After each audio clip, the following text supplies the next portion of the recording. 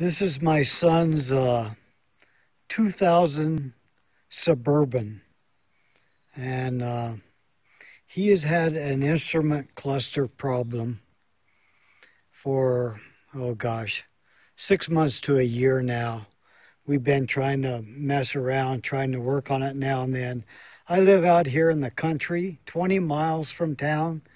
So every once in a while, he would come out and we would work on it and try to figure out what was wrong. Uh, this vehicle, I, I, finally fixed the, the, instrument cluster problem. Uh, let me see if I got my keys here. So he had nothing.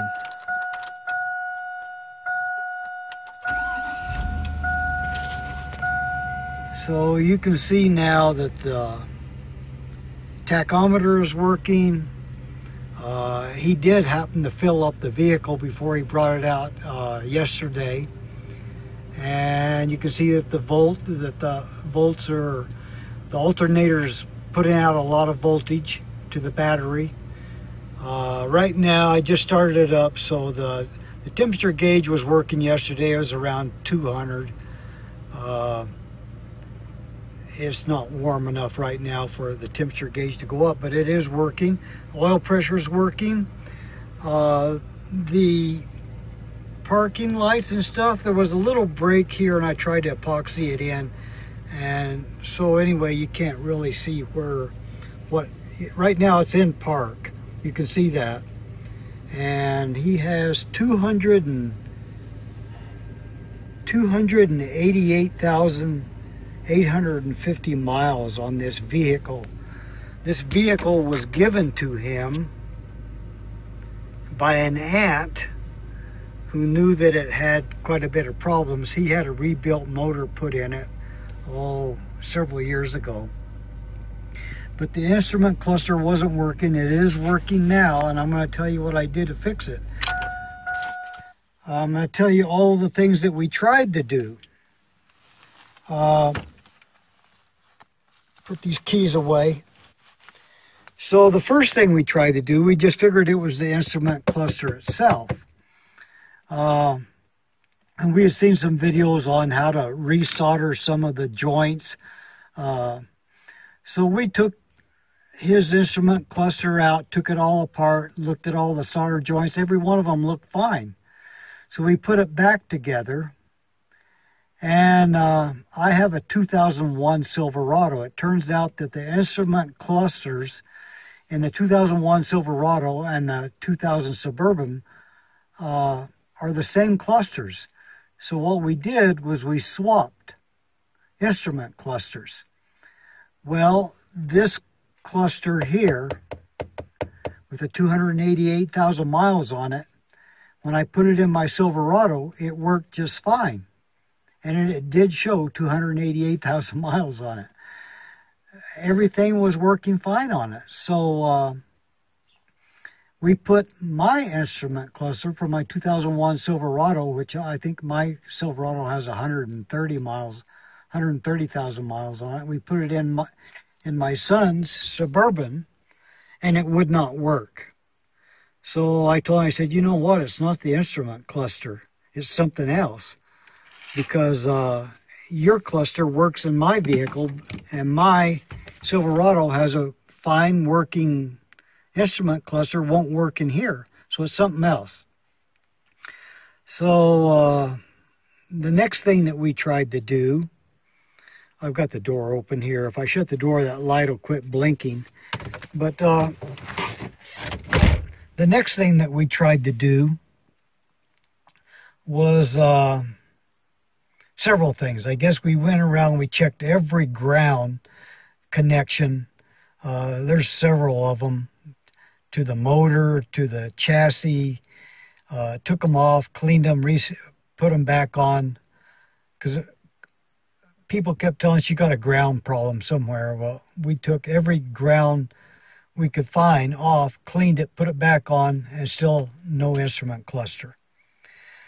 Uh, and trying to think of what we actually did next. Uh, I saw a video where a person said there was a black and white wire. I'm going to open the door and go back out. You can see I got the, the hood up. I'm going to go back out and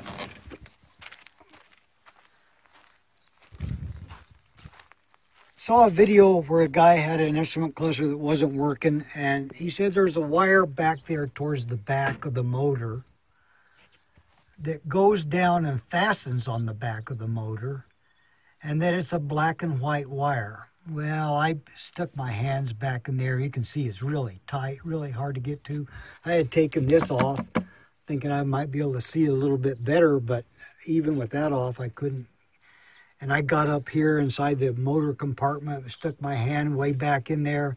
I did find one of these corrugated plastic things that had a wire going back down towards the back of the motor as far as I could feel down there. It seemed like it did go back to the back. And I just kind of gave it some light tugs and uh, seemed like it was fastened solidly. And so I uh, thought, well, I can't even see what I'm doing. I can't even see what I'm pulling on. I can't reach all the way back to the bolt. I could never get a ranch back there. So I gave up on that idea. And what we did I'm going to go ahead and shut this now so I don't. I think I'm done. Well, I'll leave it open for a little bit. Anyway, what we did next was we had my Silverado and we had his vehicle. And I created this little thing here where we listed on here what the Silverado voltage would be using A8 as the ground. So whenever you take this instrument cluster off, there's four screws that hold it on there. Uh, whenever you take it out, there's a harness that plugs into the back. And there's two ground. One of them is A6. You can see over here we got A6, the Silverado and the Suburban. And then the other one is A8. And A8 just happens to be black and white. A6 is a solid black wire. So anyway, what we did was we took the clusters out of both of the vehicles. We put uh, a multimeter, hooked it up, and we used the uh, A6 as the ground, and then we and then we put the we turned the key on, and we measured the voltage all the way down. You can see here I'm looking at the Silverado a6 black ground, and on A2 we had 100, we had 10.15 volts. A3 we had 10.28 volts. A4 we had 11.86 volts. Then after we measured, we marked them all down, and then we went to the Silverado again and uh, used A8 and you can see that we had uh, whatever that says 9.95 volts uh, 10.17 volts and 10.87 volts. There again on A2 A3 and A4 and we marked them all down and then we decided to try it on this suburban. Same thing. We put the uh, the black uh, plug in into the harness which is back here on the back and then we put the the positive one on the uh, A2, A3, and A4.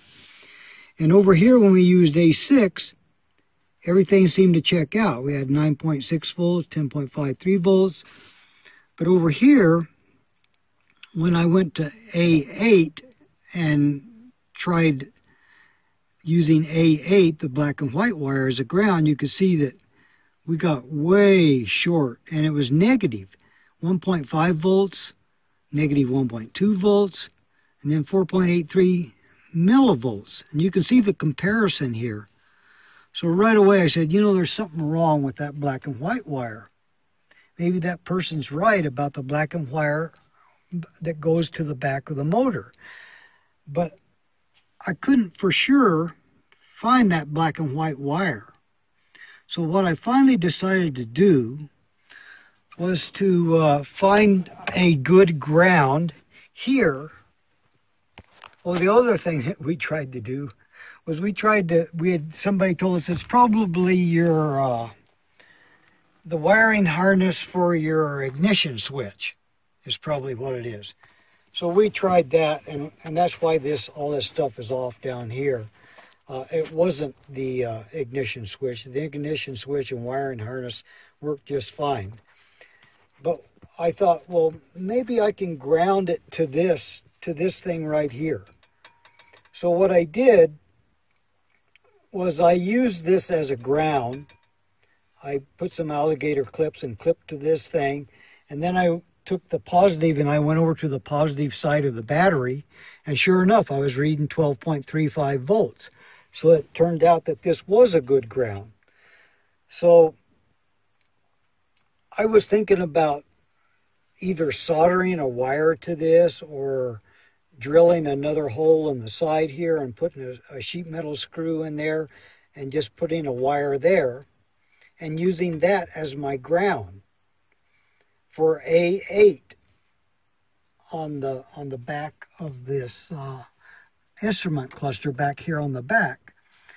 Well, as I got to looking at this other side, I saw that there was a screw that screws this piece of plastic into this. So I went ahead and undid that screw and I got a black wire and I peeled back the insulation and I screwed that down. And then I took the other end of the wire and I put some alligator clips on it and I checked, sure enough, I checked it to the positive side of the battery and I had 12.35 volts. I thought, well, I got a good ground over here. So now all I got to do is figure out a way to take that wire up and put it at, into A8. And if, if I took this instrument cluster out, you can see that that wire is running over here, coming up here and going up to the back of the instrument cluster. You can see that black wire right there. I added this black wire and it goes up to A8. I just pushed it into the back, kind of like a, a back probe. And uh, then I, I taped it to the rest of the wires to try to hold it in place. And, and it, so it's just, it's kind of loosely in there. It's not the best connection to A8, but it is connected. And then I uh, pushed that wiring harness into the uh, instrument cluster. And as you can see, I did fix it simply by having a good ground for A8 and my ground is, is a screw that goes into this, that screw right there, and a black wire that's running up to my wiring harness, runs up to my wiring harness right here, up to the back of the wiring harness where I just have it pushed in to A8, and then I have it taped into place with electrical tape. And I'll be darned if it didn't fix a problem that we've had for, I don't know, six months to a year now. Uh,